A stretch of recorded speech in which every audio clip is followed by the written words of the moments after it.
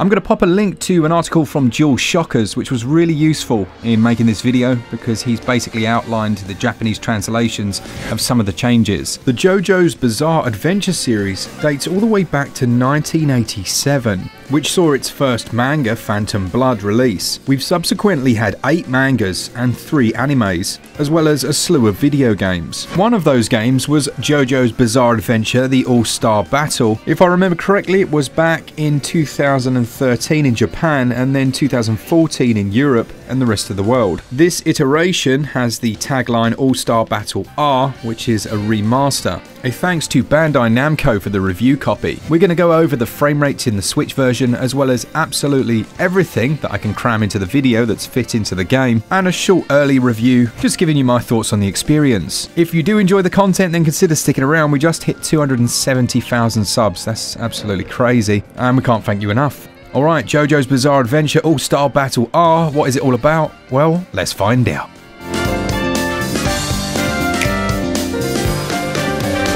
First things first, it costs £44.99 or your regional equivalent. It will require an online subscription if you want to play online, and it has a download size of just 3.3 gigs. It's typical pricing for Bandai Namco, but it has to be said it includes an incredible amount of content. You're looking at 50 different playable characters from all of the different JoJo arcs. There's a ton of different game modes here, and we'll also talk about some of the changes they've made from the original game. And I think for anime fans, they're going to appreciate some of those and if you're fans of the original game, you may not appreciate some. So, on to performance then, probably the most important aspect. And Glen really is the fighting game aficionado and he asked me if it was running at 60 frames per second, as very often you're timing your moves with the frame rate, and high frames facilitate more control. Unfortunately, it's not running at 60, it's running at 30 frames per second. As you can see, this is reasonably consistent. I'd say 95% of the time it's fine. I did notice maybe one or two very minor stutters, but I wasn't actually able to capture those, which was quite annoying. It's kept the visual authentic to Hirohiko Araki's style, and the game uses 3D models within a 3D environment but shifts to a two-dimensional perspective. The character models themselves look incredibly detailed, and upon closer inspection, they have almost a textured surface with a cel-shaded outline. This stylized visual really works nicely to emphasize their manga origins, and it does a lot to differentiate the game from other fighters. The animation work is also very strong, with some ludicrously over-the-top finishing moves. There are a number of different stages to fight in, and these do have some dynamic aspects to them as well, like chandeliers being pulled from the ceiling, and because the game's fully 3D, you can move towards or away from the camera using a dodge move. The remastered visual carries across to almost every aspect of the title. In almost every regard, it's a very strong upgrade. I just wish they'd managed to get it running at 60 frames per second. I'd be surprised if it's not 60 FPS on PC and PS5, but it is a strong one to play in handheld. The colour palette is already off the charts, and on the Switch OLED screen, man, it looks great. When we have the games running side by side, although they're not in exactly the same scenes, we really can see the improvements made over the original releases.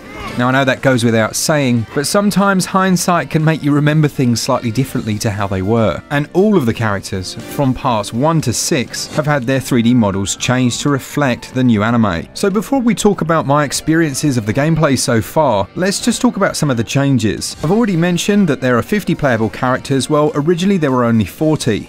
As you'd expect, the audio has seen big updates. All of the characters from part 1 to 6 have had their voice actors changed to fall in line with the newest anime. I believe that when it first released in 2013, the David production TV series had started just the year before.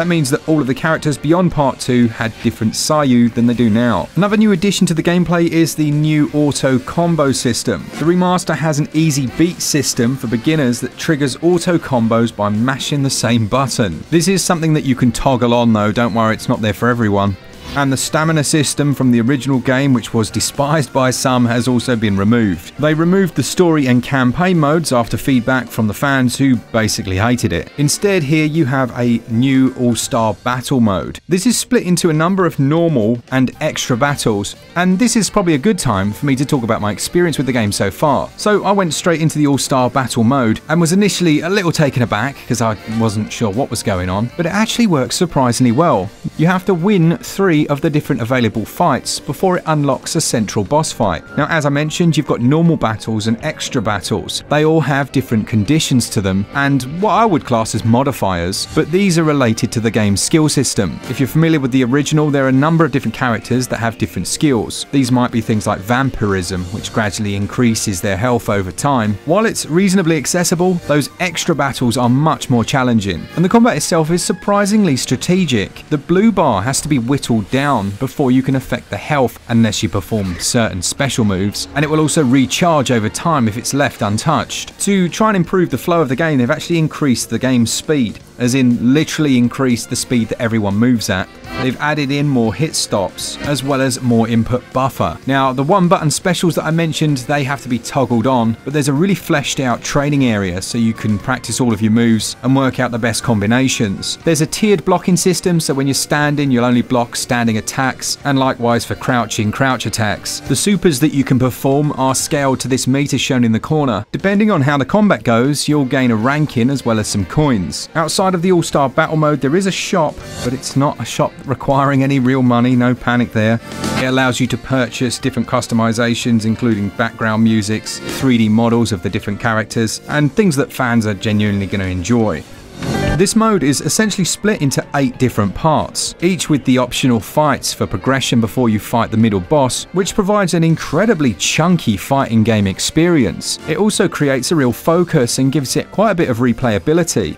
I hopped briefly into the online mode and well, I couldn't get a game. I wasn't overly enthused about the idea of getting my ass handed to me on a plate, to be honest, so my wait time wasn't that long. I maybe waited a couple of minutes and then gave up. I'm sure they'll populate a little bit more over the coming days. There's also a full arcade mode here, which is a more traditional style affair. There's verses and then there's customize. This essentially allows you, through winning games and purchasing things in the shop, to customize the different things your characters are saying. You can also change their actions, their sound effects, and of course their victory poses. So despite being disappointed that it doesn't run at 60 FPS, it still feels responsive on Switch, although you're going to need to get yourself a controller that has a decent D-pad on it. Sure, you could try and control the game with an analog stick or the current D-pad, but yeah, that's not going to go too well for you. If you're a JoJo fan or a fighting game fan, I think you're going to really enjoy this game. It's just being aware of the potential limitations of that frame rate on the Switch version. If you have any questions about the game, then please do pop them down below and I'll try and answer those. But I don't think you're going to be too disappointed if you pick it up. And you'll be even less disappointed if you save 10% by buying your eShop credit over at switchup.gg and then use code SWITCHUP. Man, that was a nice, smooth little segue, wasn't it?